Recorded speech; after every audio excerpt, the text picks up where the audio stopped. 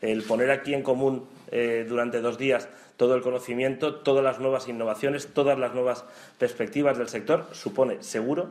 presidente Javier Lola, supone seguro en los próximos dos años puestos de trabajo nuevos, empresas nuevas, desarrollos nuevos y ese es el futuro que esta provincia necesita y ese es el, futuro que sin duda Calicer eh, le aporta. También desde la Diputación queremos sumar nuestro granito de arena a ese papel, por eso estaremos también en Coalicer. En total, al final, son más de 600.000 euros puestos desde la institución provincial, desde el Gobierno provincial, al servicio de un sector en el que creemos firmemente que nos ha dado muchísimas alegrías y que nos va a seguir dando muchas alegrías.